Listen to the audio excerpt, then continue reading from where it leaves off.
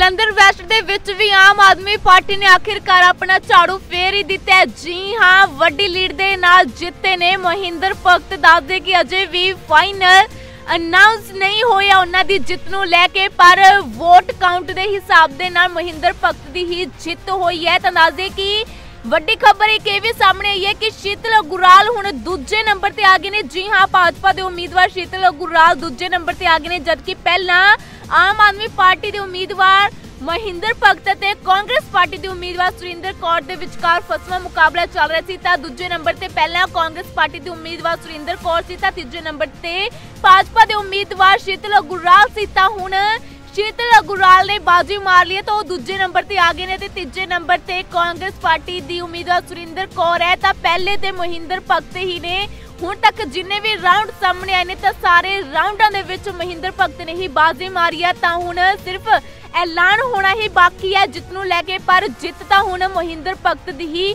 ਹੋ ਚੁੱਕੀ ਹੈ ਘਰ ਦੇ ਵਿੱਚ ਜਸ਼ਨ ਦਾ ਮਾਹੌਲ ਬਣ ਗਿਆ। ਪਟਾਕੇ ਆਮ ਆਦਮੀ ਪਾਰਟੀ ਦੇ ਵਰਕਰਾਂ ਦੇ ਵੱਲੋਂ ਚਲਾਏ ਜਾ ਰਹੇ ਨੇ। ਢੋਲ ਟਮੱਕਿਆਂ ਦੀ ਥਾਪ ਤੇ ਨੱਚਦੇ ਹੋਏ ਵਰਕਰ ਨਜ਼ਰ ਆ ਰਹੇ ਨੇ। ਤਾਂ ਖੁਸ਼ੀ ਦਾ ਮਾਹੌਲ ਬਣਿਆ ਹੋਇਆ।